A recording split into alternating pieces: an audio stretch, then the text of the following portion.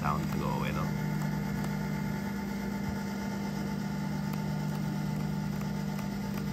What is going on YouTube? It's your boy Spanko and uh, today you guys probably saw it in the thumbnail and the title uh, but I want to give a big shout out to Neshi because uh, we're playing Crystal Beast or we played Crystal Beast I should say and we actually came first place at our locals today and it's, it's actually pretty lit.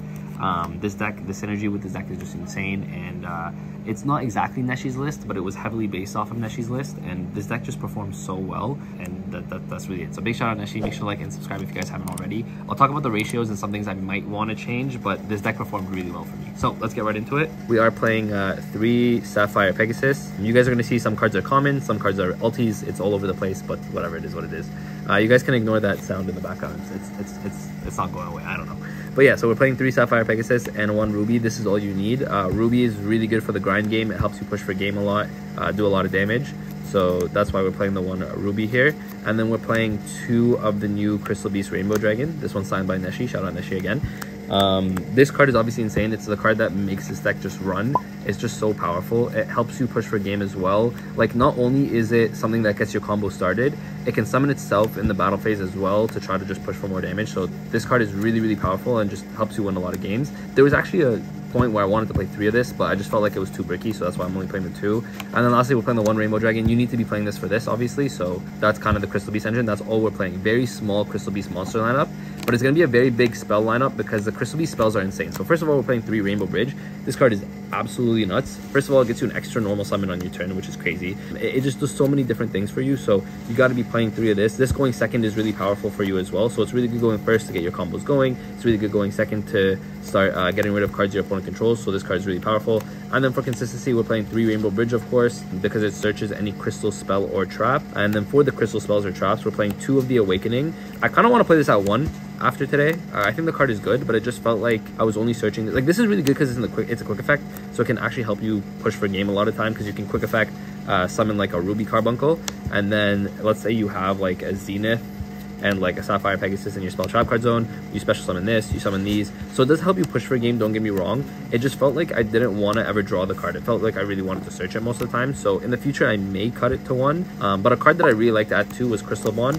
This is a card I originally was playing at one, but uh, the reason I decided to play two was originally I was playing a Cobalt Eagle in here for an extra name, right?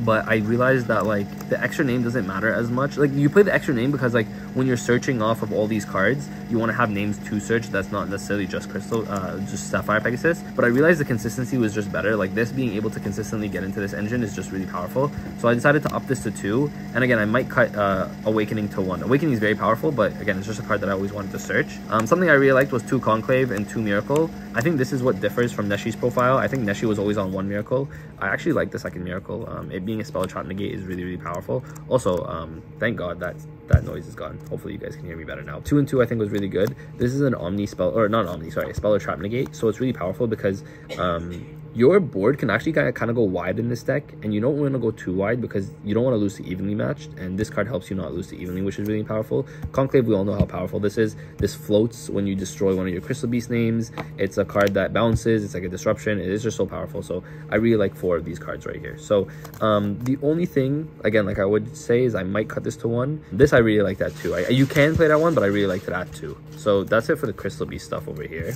So to move into the non-crystal beast stuff we're playing uh, three ash. That's that's literally the only hand trap we're playing as well as three pros for consistency. Um, so this is the only thing with the deck that um, i kind of didn't like is because you can't really fit a lot of hand traps into a format that i think requires a lot of hand traps. I think this is pretty self-explanatory so let's get this out of the way. Um, this card obviously is you own, you own three now? Yeah i own three now. I had I, I paid for three. So if you guys didn't know i had one for the longest time but i now have three yeah, that's pretty good. So, um, yeah, so I'm only playing three Ash. I think you can play Gamma, you can play any hand trap here, you can play Imperm here as well. The reason I chose not to play Imperm was because you actually clog your back row a lot with the Crystal Beast. So playing Imperm kind of does suck because you're putting more back row and you don't necessarily always have space. Uh, so I decided to play three Ash. It's just the most generic one. But yeah, this is the only thing that about the deck that I kind of like was sad about because I wish I could play more, but this is all you really can fit. And then for the Kash engine, and this engine is absolutely insane. Three Fenrir, one Unicorn, one Riseheart. Um, these are the monsters that you want to play. Obviously, obviously this is just like your one card combo and you're always going to get into this. So that's why you're only just playing the one unicorn. Uh, Fenrir obviously is really good. So this is the thing where it's kind of like, even if you're going second, you don't have hand traps, it's like specialing a Fenrir and having this to push like for like attack, banish something is really powerful. Um, this going first obviously is also really powerful. Even if you don't get into the full engine, just being able to summon this before you can combo is, is, is just really powerful, right? So um, I, I, do like this engine. I think it's very powerful.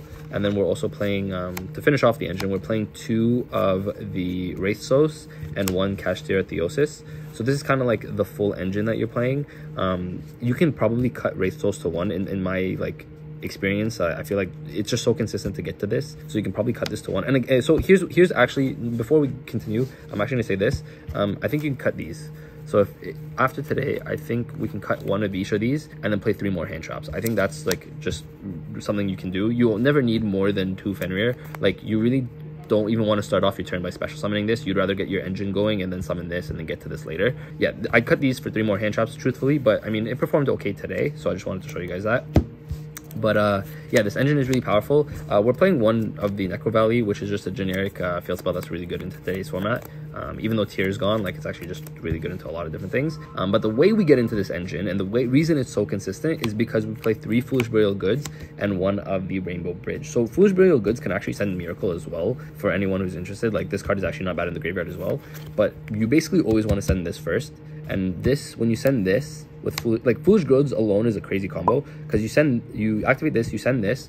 This you banish to search your Wraitsoth, and then this is also going to banish a Crystal Beast name. So you're going to summon or search, I guess, uh, your Sapphire Pegasus. So let's say you have open no names, nothing. You get to search your Sapphire Pegasus, and then you do a whole Kash combo, which ends on like an Arise Heart. So you you always have do your full Kash combo, and then you can normal summon your Sapphire Pegasus, and then you always end on a rank, rank 4 with this card. So it, it's a really insane combo, and um, it's really nice because if you do open, let's say you your Wraitsoth already, then you can use this to search a Necro Valley, um, and then in the side deck, it's actually really powerful as well because you can search another field spell that's really, really powerful. So that's it for the main deck. It's 40 cards on the dot. And again, I kind of showed you guys what the changes that I would make are just because like, you know, just for extra hand traps. I really like extra hand traps.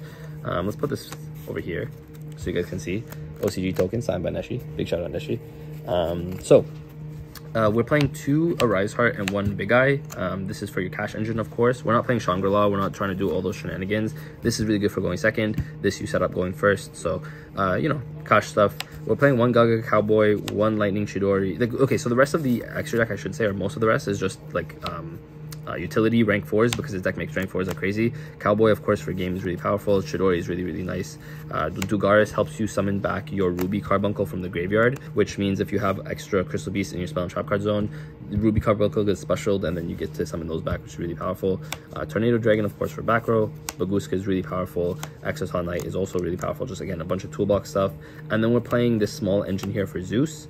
Uh, only needs two level 4 monsters, so you go Chakanine into Borbo into Zeus. So Zeus is just really powerful. This deck can be like Zeus Turbo if you want it to be, which is really nice. So uh, I really like this. And then lastly, for the last two monsters, we're playing the one donor. This card's really powerful. Um, just getting rid of extra cards your opponent controls is really nice. And one uh, wind. So your Sapphire Pegasus is a wind. Um, and there's not a lot of times it comes up, but technically wind can come up, especially because Unicorn is a is a wind. So if you go uh, make with this, take your opponent's uh, in, in, the in the Kashtira matchup. You take your opponent's um, unicorn, and then you can keep going from there. So because then you can activate the unicorn effect, etc., etc. So uh, that's it for the extra deck. Very consistent, very simple extra deck. Nothing like too out of the ordinary here. I don't think I changed anything up. It's it's, it's really powerful and just really self-explanatory. Uh, it does suck when your opponent calls Xyz on D barrier, but it is what it is. And then let me show you guys a quick side deck. So there's one side deck card that I'm actually uh, proxying because my friend let me borrow it, but I'm just gonna tell you guys what it is. So for our side deck, uh, I think the side deck was perfect by the way. Three Nibiru, really powerful into any Kash matchup, any combo matchup. Uh, same thing with Gameciel, I actually really like the Kaijus as well. This is also gonna be good going into next format, into CYAC, which I'll, do an updated profile post CYAC because I feel like there are some things that you're gonna need to change, but I really like uh, Gameciel as well. So these are all our going second cards over here. Um, and I think you need all of these cards because again, like you guys saw in the main deck, you're not playing a lot of go second cards. So these cards are the cards essentially into any matchup that are going to be really relevant. Into back row, these are really good. Into a lot of decks, this is really good. This is also really good into a lot of the combo decks. So uh, I think this is pretty self-explanatory. These cards are just all really, really powerful.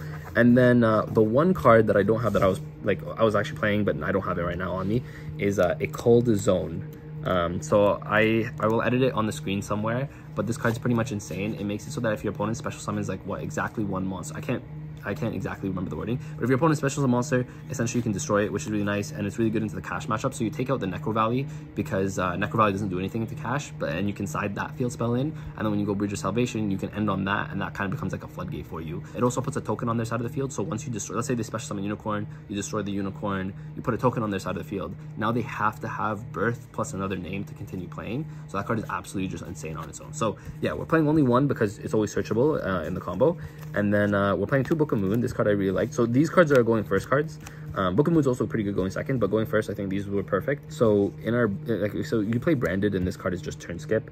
Um, this card is just insane into so many different things, right? So I really like D-Barrier. It's going to be also really good into the next format with Mannadium, because they're just pretty much Synchro base deck, and you go D-Barrier, call Synchro. Um, it's not bad into Purrely if you call Xyz.